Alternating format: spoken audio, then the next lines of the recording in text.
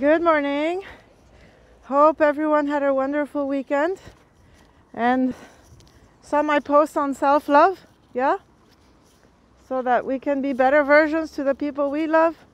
And it's always work in progress, isn't it? it's not always easy to prioritize oneself when we have so many other people around us, but it's important. And actually, yesterday was important as well because we finished the four week program on Life Mastery Level 1. Maybe you saw the, the ad uh, a few weeks ago. I had put it, obviously, more than four weeks ago because we finished. And uh, it was great. Life Mastery Level 1. I'm waiting for testimonials that I will share with you. But um, I think it was a wonderful experience, even for me, to be sharing very practical tips on how to break patterns because we feel so bound by patterns we feel stuck. We feel like we can only react this way and there's no other way.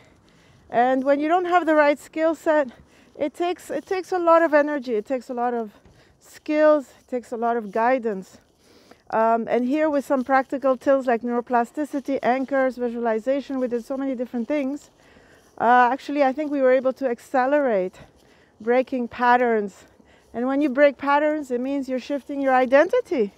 So you're creating a newer and better version of yourself. So yeah, very excited huh, that it's finished. And as you might have seen, I've just launched another one called Time for Inner Mastery.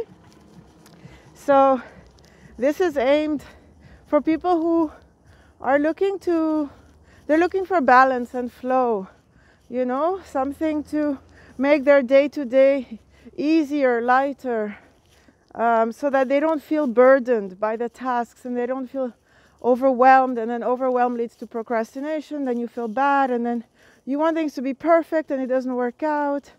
Um, so it's really time for inner mastery. Registrations are still open and it's free. It's a pilot project so it's free.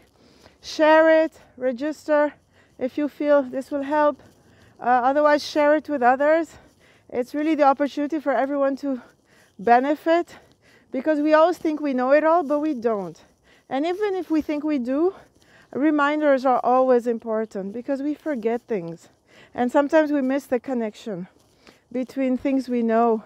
And then we say, oh, yeah, this is what it was about. Oh, right, now I can put it into practice. Right? So, wishing you all a wonderful Monday, wonderful start of the week. And keep smiling and keep being aware of what's going on inside you. Ciao, ciao.